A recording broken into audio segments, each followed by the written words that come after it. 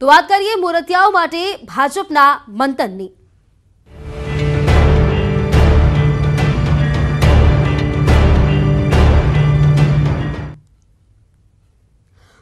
સુરતમાં ભાજપમાં દાવેદારી કરવા રાફડો ફાટ્યો છે. સુરત ભાજપ કાર્યાલય પાસેનો આકાશી નજારો ભાજપની સેન્સની પ્રક્રિયામાં કીડિયારું ઉભરાયું ભાજપ કાર્યાલય પાસે મોટી સંખ્યામાં લોકો જોવા મળ્યા. સુરતના ઉધના રોડ કમલમ કાર્યાલયનો આ આકાશી નજારો જોવા મળ્યો હતો.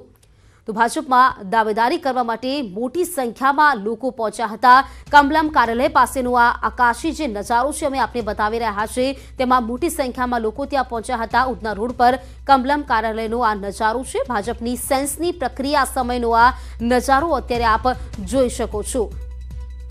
તો સમર્થકોની ભીડ લાગી હતી. આ કાર્યાલય પાસે જે સમર્થકોની ભીડ હતી તે પણ જોવા મળી હતી. દાવેદારી કરવા માટે મોટી સંખ્યામાં લોકો પણ ત્યાં પહોંચ્યા હતા. વિગત મેળવીએ સંવાદદાતા કીર્તેશ પાસેથી.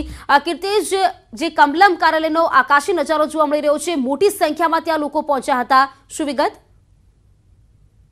પ્રીતિ, જે પ્રકારે કહી શકાય, બે હજાર બાવીસની વિધાનસભાની ચૂંટણીની જાહેરાત ગમે ત્યારે થઈ શકે તેવી શક્યતાઓ દેખાઈ રહી છે. ત્યારે ભાજપ દ્વારા પોતાના ઉમેદવારો માટેની નિરીક્ષકોની ટીમો અલગ અલગ જિલ્લામાં મોકલવામાં આવી છે. તે જે તે વિધાનસભાના ઉમેદવારની વાતો સાંભળી રહ્યા છે. ત્યારે સુરત ખાતે ગઈકાલે જે છ બેઠકો માટેની પ્રક્રિયા કરવામાં આવી હતી, ત્યારે છ બેઠ- બેઠકોના ઉમેદવારો, એક પછી એક ભાજપ કાર્યાલય પહોંચ્યા હતા. કેટલાક લોકો તો પોતાના સમર્થકો મોટી સંખ્યામાં પહોંચ્યા હતા. ત્યારે ચોર્યાસી વિધાનસભાની ઉમેદવારી કરવા માટે ભટલાઈ ગામના ભૂતપૂર્વ સરપંચ પાંચ હજાર કરતા વધુ સમર્થકો સાથે ટિકિટની માંગણી કરવા પહોંચ્યા હતા. એટલે કે જે પ્રકારે ઉમેદવારો પોતાના સમર્થકો સાથે પહોંચતા હતા, જેને લઈને સમગ્ર કમલમ અને રસ્તા ઉપર ભીડ હતી, તેના આકાશી દ્રશ્યો કેદ થયા હતા. અને હવે આકાશી દ્રશ્યો પરથી ખ્યાલ આવે છે કે ચૂંટણીની જાહેરાત ભલે નથી થઈ, પણ અત્યારથી ચૂંટણીનો ગરમાવો કમલમ ખાતે દેખાઈ રહ્યો છે. આજે બીજો દિવસ ટેન્સનો છે અને આજે પણ આ જ પ્રકારના દ્રશ્યો સુરત કમલમ ખાતે જોવા મળશે.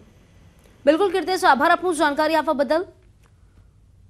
તો સુરતના આ દ્રશ્યો આપે જોયા છે. ભાજપ કાર્યાલય પાસે દાવેદારો અને સમર્થકોની ભીડ ઉમટી હતી, જેનો આકાશી નજારો અત્યારે આપે નિહાળ્યો.